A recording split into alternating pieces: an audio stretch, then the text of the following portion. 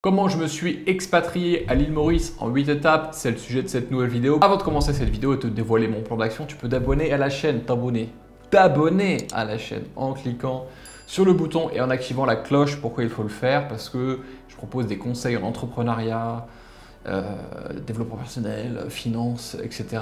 pour te permettre de vivre une vie comme tu aimes, une vie sur mesure. Donc ça vaut le coup. Voilà, c'est un petit conseil que je te donne, ça vaut le coup de le faire. Sans plus tarder, première étape, c'est de prendre conscience et d'accepter qu'on ne soit pas satisfait de sa vie actuelle. C'est difficile parce qu'en fait, il faut aller au-delà de son ego et de toutes les protections qu'on se met pour se voiler la face. Je pense que le point de départ, c'est de dire, il y a un truc qui ne convient pas, je ne sais pas exactement quoi, mais j'en ai pris conscience et il y a un truc qu'il faut que je change. Et peut-être que l'environnement global du pays dans lequel je vis, me convient pas trop et j'ai envie d'aller voir ailleurs. Ce qui nous amène ensuite à l'étape numéro 2, c'est de savoir pourquoi on part. J'ai fait une vidéo très complète qui s'appelle Pourquoi j'ai quitté la France et euh, qui va t'expliquer point par point pourquoi j'ai quitté ce pays pour vivre l'aventure d'expatriation à l'île Maurice. Donc prendre conscience et savoir pourquoi. Donc on peut avoir déjà quelques idées et se dire oui c'est vrai ça, a du sens et pour mettre vraiment ces idées euh, au clair, eh bien étape numéro 3, je t'encourage à coucher sur un papier un listing des raisons pour rester et des raisons pour partir. C'est important d'avoir les deux. Comme ça, tu vois s'il y a trop de points en faveur de quitter ou alors suffisamment de points en faveur de rester pour rester. J'ai fait ce tableau et c'est ce qui m'a permis de choisir de façon objective le départ et l'expatriation à l'île Maurice. Parce que si tu fais ça juste au ressenti, au feeling. À un moment donné, en fait, euh, tu ne seras pas au clair avec toi-même et ton choix et tu risques de regretter parce que c'est pas clair. Et au moindre doute, et quand tu arriveras aux 6 mois d'expatriation, là, le fameux un peu euh, coup de déprime de l'expatrié qui arrive entre 6 mois et 1 an, là, tu, vas, tu risques de regretter parce que tu ne seras pas au clair avec les raisons qui étaient pour et contre.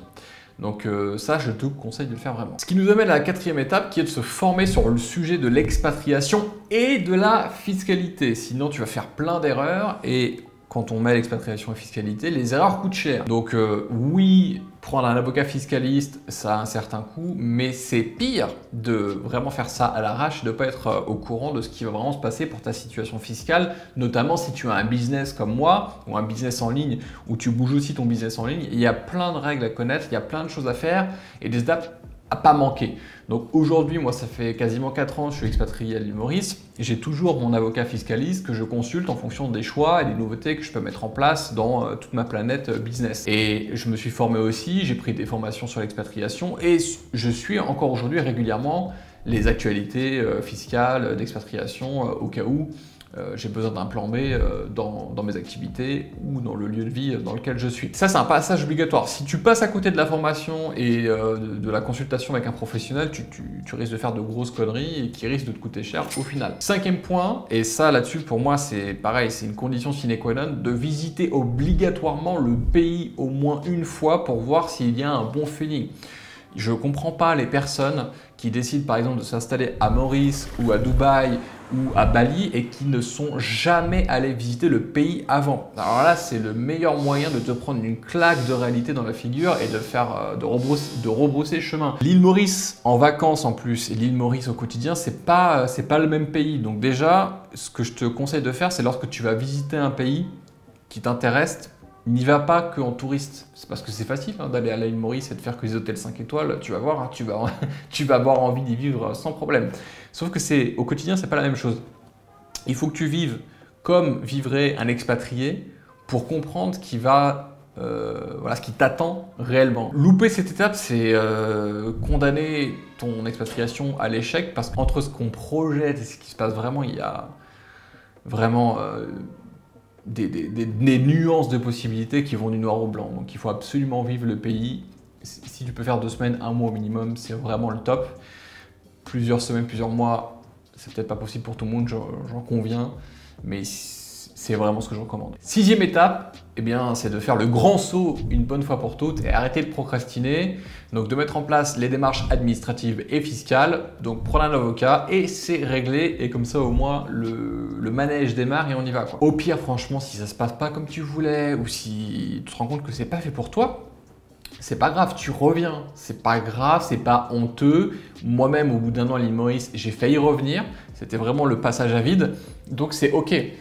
Mais je crois qu'il n'y a rien de pire que d'avoir un projet que tu mets jamais en place parce que tu as trop peur ou parce que tu trouves des excuses. Vaut mieux faire une expatriation qui a été foireuse et revenir que d'être frustré toute sa vie de dire ah mais si j'avais euh, pu expérimenter Dubaï ou Maurice ou si j'avais pu expérimenter cette expatriation, je me suis toujours posé la question. Il n'y a rien de pire que d'avoir des, voilà, des regrets sur quelque chose que tu n'as pas fait et de, vivre toute ta vie dans une frustration en ne sachant jamais bah, ce qui aurait pu se passer vraiment.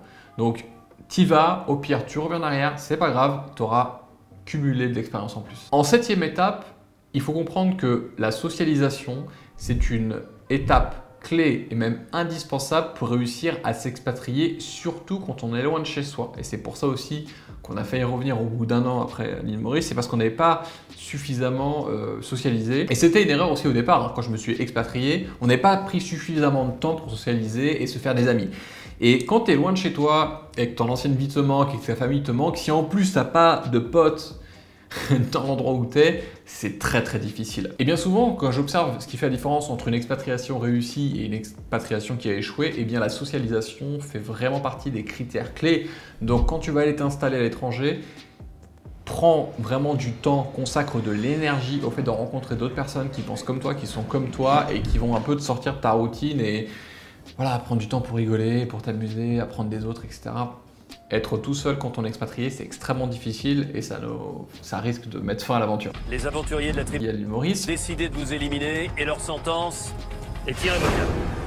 Et enfin, la huitième et dernière étape pour s'expatrier, ici je te donne mon exemple de l'île Maurice, mais c'est vraiment des étapes qui sont euh, universelles, c'est se faire plaisir et profiter régulièrement de son nouveau lieu de vie et avoir de la gratitude pour ça. T'as bougé parce que t'étais pas convaincu, t'étais plus heureux dans le pays où t'étais avant et tu veux une meilleure vie. Donc profite de ce qu'a à offrir ce nouveau pays.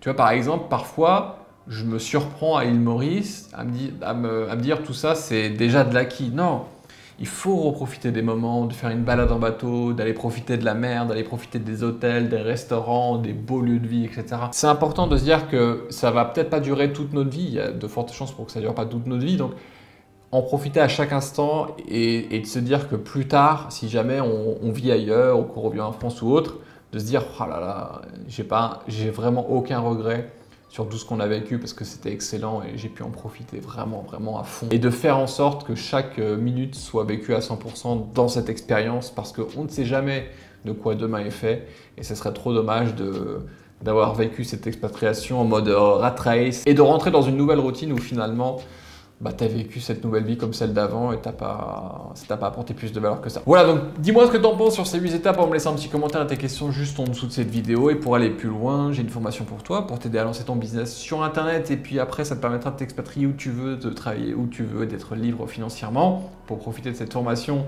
où je te révèle les trois étapes pour réussir cette année. Et l'année qui vient après, tu as un lien fichier en description et tu peux également prendre un entretien téléphonique avec mon équipe pour qu'on t'oriente sur comment euh, t'accompagner au mieux à lancer ou à développer ton affaire en ligne. Je te remercie et je te dis à très vite. Ciao